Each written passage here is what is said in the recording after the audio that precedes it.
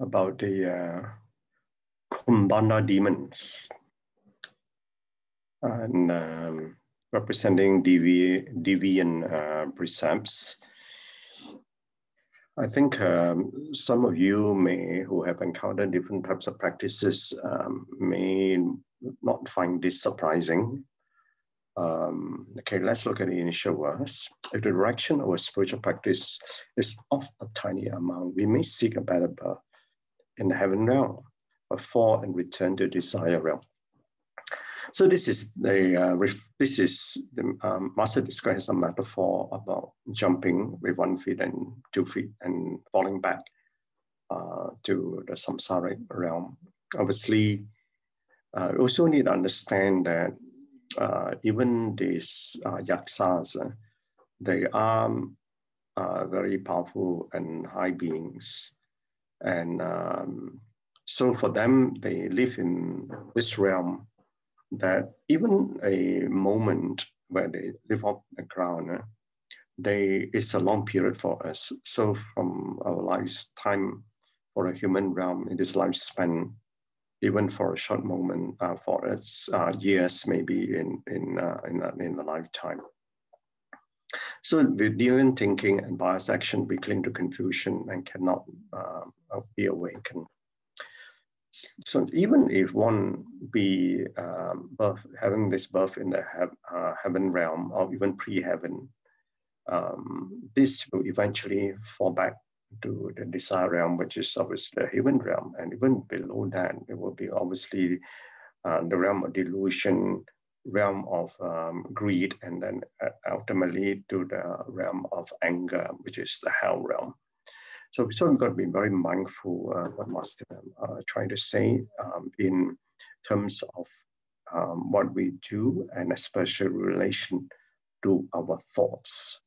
Because uh, Master mentioned uh, two days ago, yeah, two days ago, which I unfortunately didn't have time to share very much with you um, about um, this spiritual beings being three inches uh, above your head.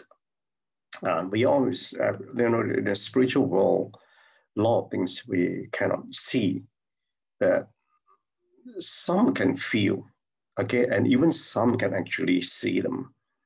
Um, obviously, um, all this uh, due to past uh, cultivation, and people are able to see, either feel it or whatever.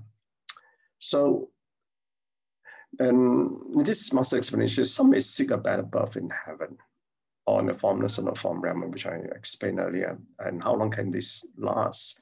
And then we eventually return to the desire realm. And uh, so uh, the thing is that, so within all these different realms above us, there are different types of beings, uh, not just uh, devas, uh, but uh, devas are actually a much higher realm, but between the human realm and the devas, there's a lot of also other beings. So whilst they have um, gone to that level, and they are not in a position, although they are powerful, they are not in a position to get uh, enlightened because the deviant thinking and uh, bias actions. So Master then used the analogy of the yaksas. The yaksas are obviously, um, if you uh, recall, um, when when Buddha gave the uh, teachings, obviously there are the beings who will come and listen, and one of them are the yaksas because they also want to uh, be liberated too. And um, so for us, um, these yaksas are invisible. Obviously, we can't see them unless those people who have the uh, inner eye to be able uh, uh, to see to see them. So we got to be very, very careful and, and because these yaksas, they're very powerful.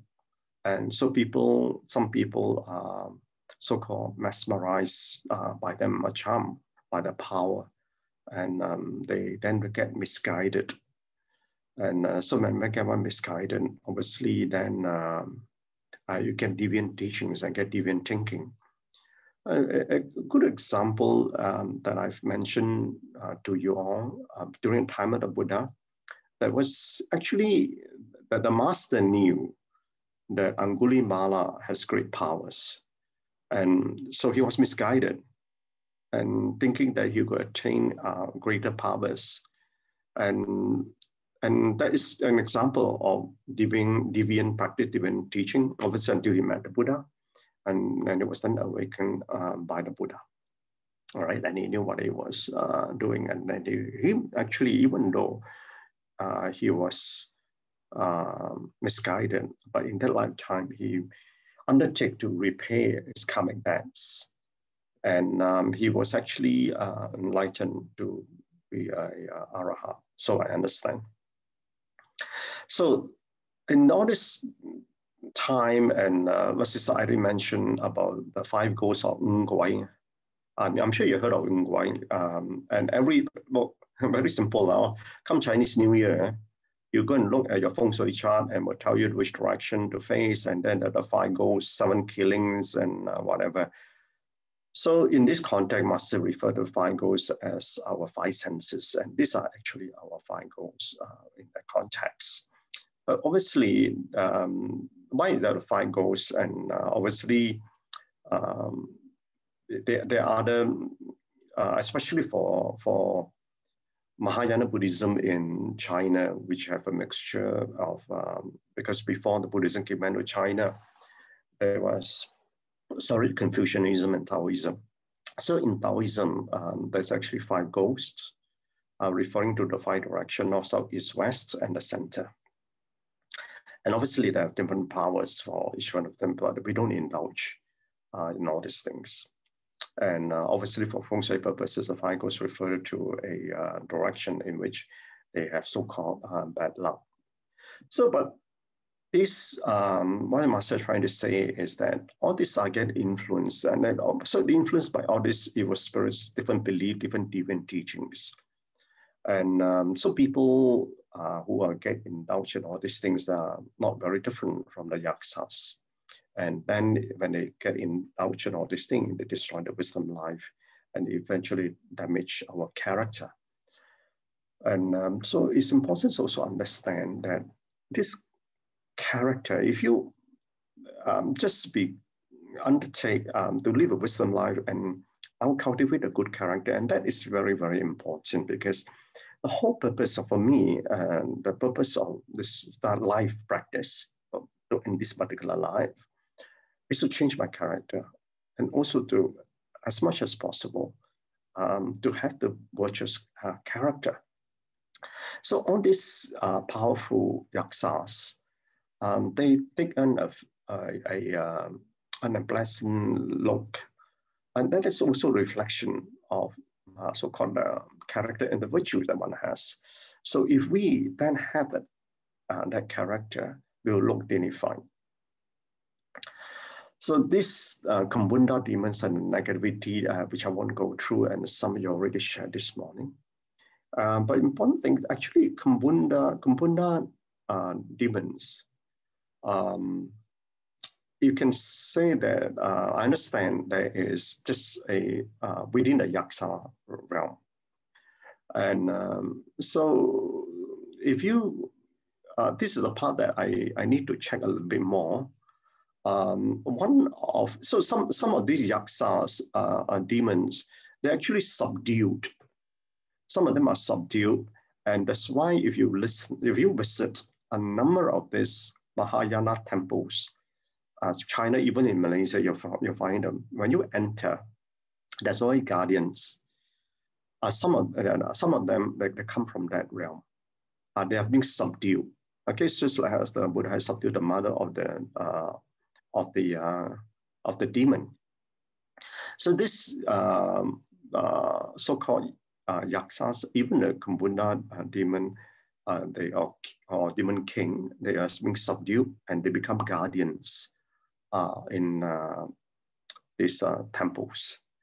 So why do we need um, them to be the guardians? You know, when I visit all these temples and obviously um, through my own inquisitive mind, I try to find out about them. Um, and um, they, they are there as guardians because they have that uh, you need you need this rafu form and looks to guard these temples, don't we? I mean, when you look at um, uh, for ourselves, when you want to hire somebody, you want to hire somebody you look fierce, right, to guard uh, your your premises. So in much the same way, um, they they do that uh, for the temples. So if you um, the other one that you can find that is actually you can find some of these uh, um, yaksas, uh, even uh, kinnaras, which are celestial courts, um, musicians. They at the Thai temples, so you actually the Thai temple, you see a very fierce-looking, uh, solemn beat, uh, demon-looking uh, guards at the Thai temples. Um, so this um, are the uh, some of these are yaksas. So the lessons learned. When we listen to the Dharma, one may realize the need to be vigilant uh, to avoid uh, having afflictions. But how long can we maintain this state? and how long can we be free of affliction? And so soon we'll be formed back to, to that state. So this is the part that you know, some people who went goes into divine teachings, and obviously, yes, they can get powers, and uh, they even can even go to the heavenly realm, but eventually, uh, they will fall back. So that's why, we, um, uh, which I'll come to um, uh, later. That's why we have to have this consciousness uh, in our practice uh, to be able to um, grow into the mind continuum in our practice. So do not get tainted, tempted, sorry, do not get tempted by the powers um, that come uh, in uh, by people who may teach you that in certain powers. And this uh, the things that we got to be very, very uh, careful uh, in our practice. Because as you grow um, higher, higher in your level of practice, you find that that different other powers and beings will come to you, and uh, both visible and invisible. And um, I'm just letting you uh, from from experience as well. So you got to be very mindful. That's why if you one does if one hasn't gone in this consciousness of practice, uh, it's very easy to fall prey uh, to these uh, so-called powers. So living in this world, we are filled with desire. So abiding by precept feels very difficult. So, and that's why when, unless you grow this consciousness of practice, and conscious practice, I mentioned there are two parts to that. There's one mindfulness, the other one is awareness. And this is the part about, the second line is a part about awareness. And this is awareness about your inner self. And you see the inner self, there are two, two so-called, if I use the, can use the word, uh, the so-called two demons, okay, inside us. One is the demon of desire. The other one is the demon of emotion. And that's where this so-called Yaksan Kumada dragons can influence you. All they need to incentivize you, either your desire or emotion, even without you knowing, and you think it's the right thing to do. And this is the reason why um, we have to take on a very disciplined practice. And even the word disciplined, um, I, I mean, I, I, I can, is it now? Oh, it's 707, sorry. The discipline in itself uh, is a topic, is a huge topic. And uh, to take on discipline practice, um, I, for me, I think on what you call uh, uh, commitments. Even within the commitments, there are, there are 10 aspects uh, to that. Uh, so it takes a bit of time to explain that. And the third line here is that we, as we learn the Buddha's way, must be mindful. Um, here, obviously, Master gave, uh, gave this saying, well, enriches the house as virtue enriches the body. And it was the part I was explaining at the beginning uh, earlier, that this virtues, uh, if you undertake that, you can identify uh, uh, disposition that way enriches uh, the body. So therefore, we don't, then therefore, this is the part about cultivating our character. So because when you undertake those virtues, you know you have undertaken those virtues, or you can tell someone is virtuous by the character. And this is where um, the, uh, the uh, what you call that, um, the one of the fruition of the practice. So in this, uh, so what is this fusion? Fusion come uh, like uh, Master Chris, I mean, Brother Chris just said, that the seed is the one that grows it. So that seed will also the tree will, will, will bear fruits, and that one of the fruit is that that fruit uh, that enriches the body, which is your character. So in this desire realm that we are, we must let uh, not let ourselves led astray by demons, and they are they are all around us. Okay, every day, wherever you may be, they're all around us. Um, so a slight deviation can cause a great divergence, and that's why I must always say you've got to be very, very mindful of this. So how do you be mindful? So, uh, you know, because we are not enlightened beings, and we have to walk straight, right, on the path. So just, um, so therefore we, we need to uphold our vows and our precepts, and that's are meant for us to keep us straight on the path. So when so-called stop, stop jumping, the metaphor of stopping uh, the, uh, jumping will eventually fall back. And why you see that metaphor of jumping is that it's about gravity. So what is that gravity? That gravity is the gravity of samsara. How, so gravity of samsara, uh, because of the gravity of samsara, we cannot float out from samsara. So we need to seek liberation from enlightenment. So how do we seek uh, liberation enlightenment? This is the Buddha path. So what is it that we want to, to liberate that number? First thing we need to do is to, to lose everything that we are carrying. Otherwise we fall back to gravity. So we're carrying all this load of karmic seeds and weighing all this down in samsara. So that's why lifetime out of lifetime, we got to unload all these things so that we can float or be liberated uh, from samsara. So in contemplation. As you traverse the path back and forth, you will face the challenges of worldly winds. And, um, uh, and, and because we're not enlightened, we will, we will come back, back and forth. And every time we come back, we face all this worldly winds. So we better learn how to deal with all these things and be liberated as much as possible. And all these worldly winds that come to you can be in, in, in forms of enticement. And all these beings, uh, so-called demonic uh, beings that come to, they, they actually um, have the ability to suck the vital essence or energy uh, from us.